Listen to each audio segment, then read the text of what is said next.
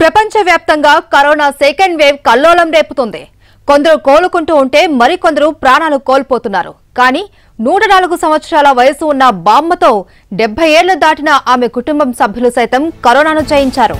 మనోధైర్యమే కోవిడ్పై విజయానికి అసలు మందు అని అనుభవపూర్వకంగా చెబుతుంది ఆ కుటుంబం.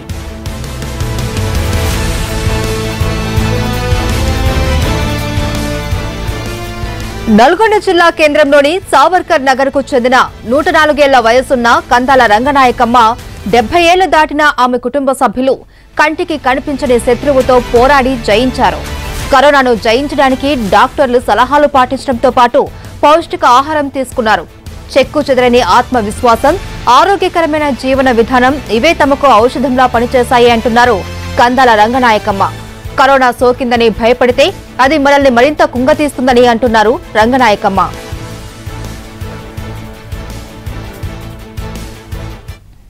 మేమే కరోనా గురించి అక్కడికి పెద్ద మనుషులు చాలా కష్టమవుతుంది తీసుకోకుండా ఇక్కడ ఇంట్లో వాళ్ళు లేరని చెప్పిన అక్కడికే తీసుకుపోయాను అక్కడికే పోయాను అక్కడ వాడినాం మంచి మందులు ఇచ్చారు వాళ్ళు బాగానే ఇచ్చారు. తక్కువ అయిపోయినాయి ఇంటికి వచ్చినాం వచ్చే నెల రోజులు దానికి ఎక్కడ పోలే. అక్కడనే ఉండిపోయినాం వాళ్ళే నేను కొడుకులు కోడలు వాళ్ళందరూ కూడా అన్ని ఆహార పదార్థాలు అన్నీ కూడా బలంగా తీసుకొచ్చారు. మందులు ఇచ్చారు పండ్లు ఫలాలు అవన్నీ కూడా ఇచ్చారు. అవన్నీ తీసుకున్నాం బాగా అయిపోయింది. అయిపోయిన తర్వాత ఒక రెండు నెలలు మూడు నెలల తర్వాత మళ్ళీ ఇంటికి వచ్చేసాం. కరోనా వచ్చింది మాకు తెలియనే తెలియదు అసలు కరోనా అంటే ఎలా ఉంటుందో కూడా తెలియదు మేము మాకు పరీక్ష చేసి వచ్చింది అని చెప్తే అప్పుడు కిమ్స్ హాస్పిటల్కి పోయినాం. ఇక డాక్టర్ చూసిండు చాలా మంచి మందులు ఇచ్చిండు. కానీ బాధ మాకేం బాధ రాలేదు.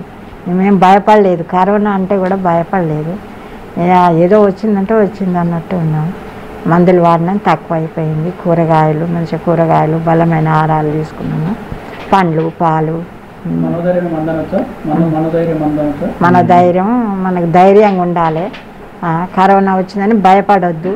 జనాలైనా కూడా ఎవరైనా కూడా కరోనా వచ్చిందంటే మనం భయపడకుండా ధైర్యంగా ఉండాలి. కరోనాని ఎదుర్కొని వచ్చినాం మేము కూడా. మీరు కూడా అట్టనే జయించి రాండి అని చెప్తాను నేను ఎవరన్నా అడిగితే. కరోనాకు భయపడొద్దు అని చెప్తున్నాను మేమే కరోనా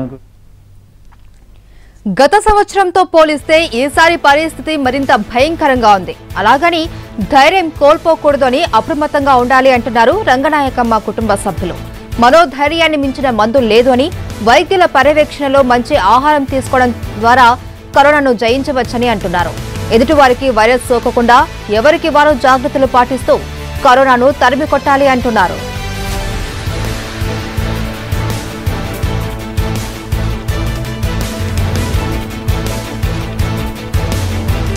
రంగనాయకమ్మతో పాటు ఆమె కుటుంబ సభ్యులు ప్రస్తుతం రెండు డోసుల వ్యాక్సినేషన్ కూడా తీసుకున్నారు. వారిని ఆదర్శంగా తీసుకొని చుట్టుపక్కల వాళ్ళు కూడా ఆత్మస్థైర్యంతో టీకా తీసుకున్నారు. వయసు వంద దాటినా ఎంతో ఉత్సాహంగానే ఉంటుంది రంగనాయకమ్మ.